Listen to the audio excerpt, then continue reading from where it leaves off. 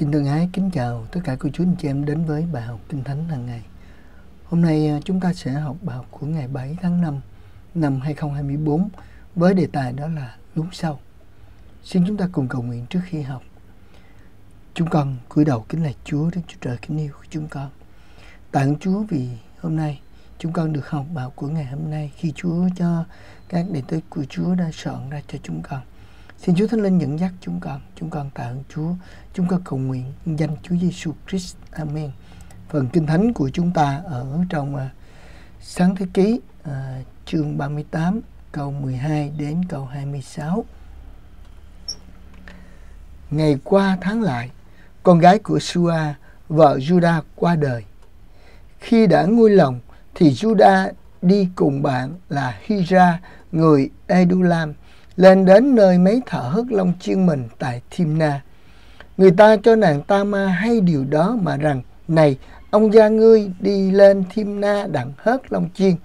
Nàng bèn cởi áo quá bụa mình ra, lấy lúc che mặt và bao phủ mình lại, rồi ngồi trước cửa thành Enaim.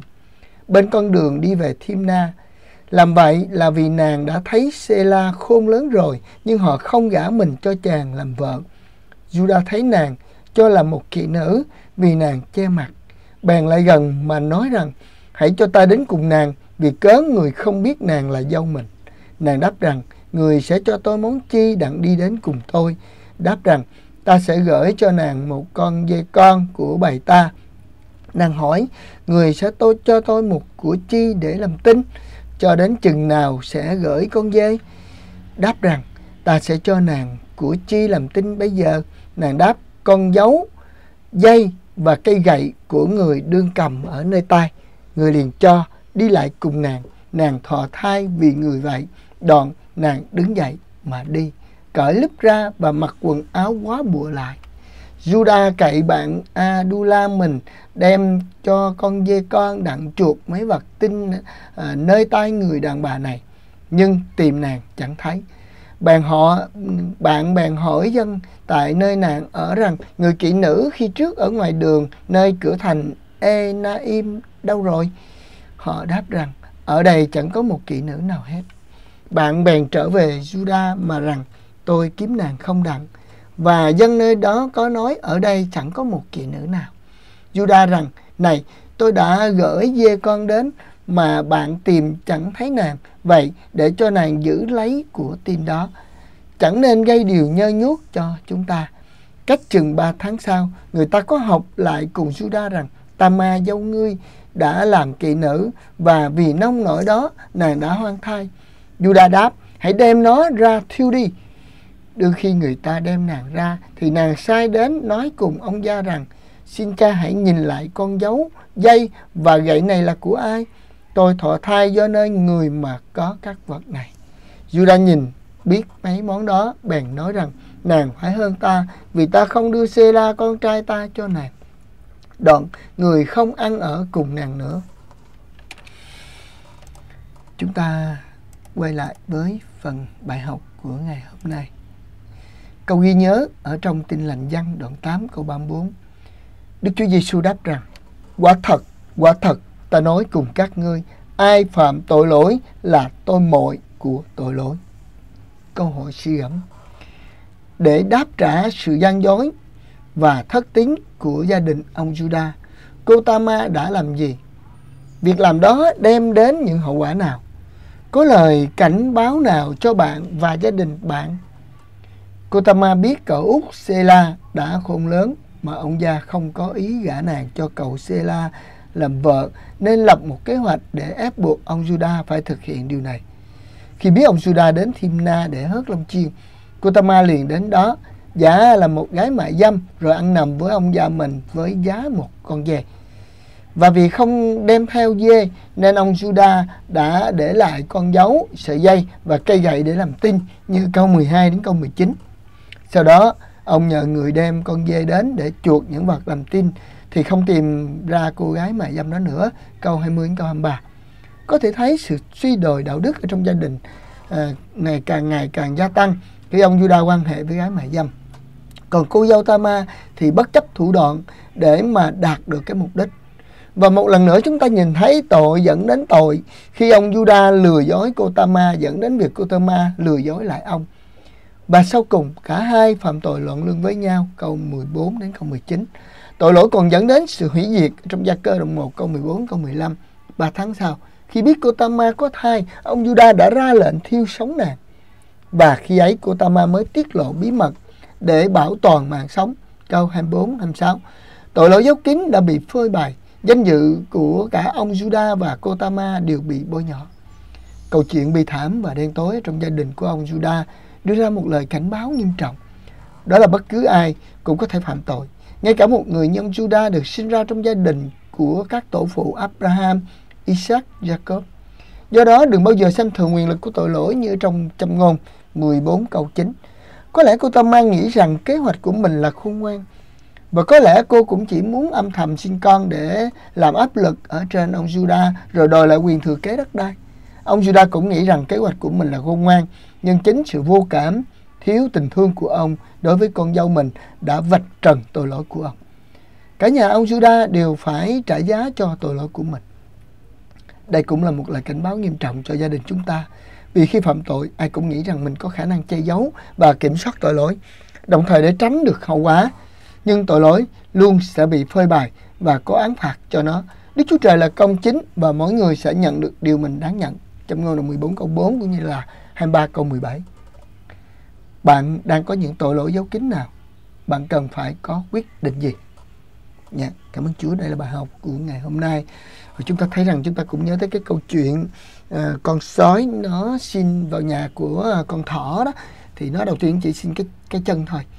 Uh, rồi sau đó nó xin tiếp, xin tiếp, xin tiếp và cuối cùng khi nó lọt vào trong thì uh, nó đã uh, bắt nuốt uh, có thể chúng ta nhớ công thỏ hoặc là cô gái hoàng khăn đỏ cũng có một câu chuyện giống như vậy. Hay là nhiều cái câu chuyện tưởng cũng giống giống như vậy. Ý muốn nói đó là gì? Tội lỗi hay là kẻ thù? Nó tìm đủ mọi cách để tấn công chúng ta và đầu tiên nó sẽ đi từng bước từng bước. Nhưng mà khi chúng ta bắt đầu lúng sâu ta nhớ khi mà chúng ta bắt đầu uh, chấp nhận chấp nhận chấp nhận mà khi chúng ta lúng sâu thì chúng ta đã ngập chìm ở trong tội lỗi rồi. Và chúng ta nhớ một điều đó là ngày hôm nay Satan nó cũng như sư tử rắn rình mò xung quanh chúng ta nó cũng đang tìm đủ mọi cách để bắt chúng ta để cướp giết và hủy diệt Cảm ơn Chúa vì chúng ta ở trong Chúa, Chúa Ngài đã bao phủ gìn giữ chúng ta trong năng quyền của Chúa. Chỉ khi nào chúng ta tẻ tách, chỉ khi nào chúng ta chối bỏ đức tin của mình, rồi chúng ta mở cửa cho Satan, thì chúng ta chiều theo tư dục bản ngã, thì Satan nó đến và nó cướp giết chúng ta. Như vậy thì làm sao để nhận định ra được rằng chúng ta đang ở trong Chúa hay chúng ta đang vô tình mở cửa cho Satan? Đó là chúng ta cần phải học lời của Chúa của Chúa anh chị em. Đừng bỏ qua bất kỳ một bài học nhỏ nào. Đừng bỏ qua việc đọc Kinh Thánh. Đừng bỏ qua những chương trình mà cô chú anh chị em đang tham dự trong việc học Kinh Thánh với hội thánh địa phương, với uh, một cái nhóm uh, học Kinh Thánh nào đó. Nhưng mà cũng lưu ý, bởi vì thông qua đó Satan nó cũng có những sự lừa dối. Cho nên chúng ta khi mà chúng ta học thì có những cái cách chúng ta phải tra xem với Kinh Thánh, xem người ta có học dựa trên đúng Kinh Thánh mà mình đang có hay không. Đừng để họ dẫn dắt đến một cái quyển kinh thánh nào khác ngoài quyển kinh thánh của chúng ta. Và rồi, xem những gì mà trong cái buổi học người ta học đúng hay không. Ngày hôm nay nhóm học kinh thánh yêu thương mỗi ngày học một phần kinh thánh. Và cũng trước đây cũng bị người ta hiểu lầm mà người ta cũng cho rằng đây là một cái nhóm tà giáo, hoặc là một cái nhóm không xác định nào đó nhưng cảm ơn Chúa, trải qua thời gian, chính Chúa là đấng đã xác nhận cho tất cả những anh em ở trong nhóm yêu thương, đó là đây là một nhóm học có sự gì của Chúa và các anh em đã cậy ơn của Chúa để trung tín trong việc học và học đúng với những gì Chúa dạy trong Kinh Thánh. Cho nên chúng ta cần phải chọn lọc. Chúng ta có thể gửi cái đường dẫn bài học của mình đang học đó đến với các mục sư và đề nghị các mục sư theo dõi xem xét có nên học hay không. Có chấp nhận, thấy rằng đây là cái nhóm đúng hay không. Và chúng ta phải kiểm tra theo thời gian. Có nhiều nhóm lúc ban đầu tưởng như tốt, nhưng mà theo thời gian thì sao? Sai, lệch và dẫn chúng ta đi sai. Nhưng mà đối với những người làm mục sư thì chúng ta cũng đừng có một cái uh, suy nghĩ gọi là hàng hẹp hay là một người chấp sự nào đó suy nghĩ hàng hẹp là chỉ ở trong chi hội của mình mới là đúng và không có cho uh, con dân của Chúa học ở đâu hết. Uh, Chúa ở đâu cũng là Chúa của chúng ta chứ Chúa không có bị giới hạn trong một chi hội nào hết. Cho nên chúng ta đừng suy nghĩ thiển cận nhưng mà chúng ta cần phải xem xét chúng ta phải xét cẩn thận. Bởi vì nếu không á thì tín hữu tín đồ của chúng ta đã không có dám nói với chúng ta mà họ lại âm thầm họ nghe họ lại âm thầm, họ theo, và chính vì vậy chúng ta sẽ mất kiểm soát. Giống như dạy con vậy đó, thà là để cho con tâm tình với mình, nó nói ra, có thể nó suy nghĩ những sai, nó nói ra nhưng mà mình khuyên lên. Còn mình la nó lần sau nó không dám nói, và nó lại âm thầm làm sai. Nó âm thầm đi đi mà mình không biết. Cho nên xin Chúa giúp cho chúng ta để chúng ta cẩn trọng, giúp cho anh em của chúng ta, tín hữu của hội thánh của chúng ta đi đúng với đường lối của Chúa.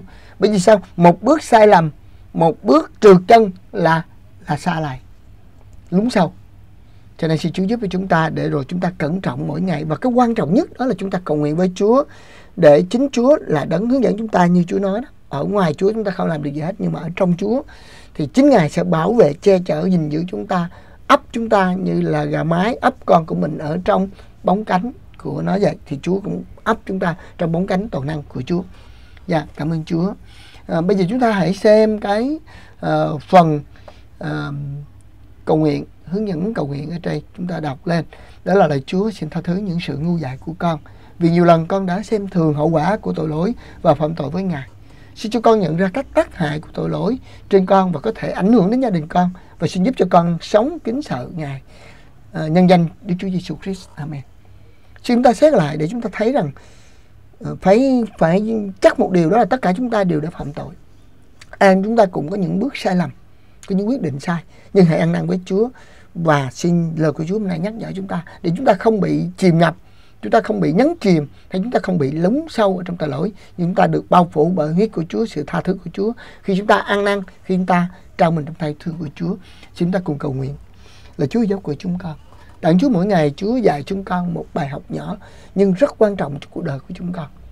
Nếu chúng con đang tiến đến bờ vực của cái sự sa sút phạm tội, xin Chúa giúp chúng con để chúng con nhận ra chúng con ăn năn với Chúa chúng con dừng lại. Vì nếu không chúng con sẽ bị lún sâu và dễ lắm chúng con sẽ giống như con heo được tắm sạch nhưng mà lại lăn vào vũng bùn. Chúng con giống như con chó nó mửa cái cái thức ăn ra rồi, bây giờ nó lại ăn trở lại Chúng con giống như một người đã được đuổi những cái quỷ dữ ra rồi nhưng mà chúng ta không mời Chúa vào trong lòng không có Chúa ngự trị trong căn nhà quỷ nó sẽ đến và lại đem nhiều quỷ khác vào nữa ôi, xin giúp chúng con thưa Chúa. Chúng con tạ Chúa và chúng con cầu nguyện. Nhân danh Chúa Giêsu Christ. Amen. Cảm ơn Chúa, cảm ơn cô chú anh chị em đã cùng học với lời bài học này. Xin Chúa ban phước cho thầy chúng ta. Xin kính chào tạm biệt. Amen.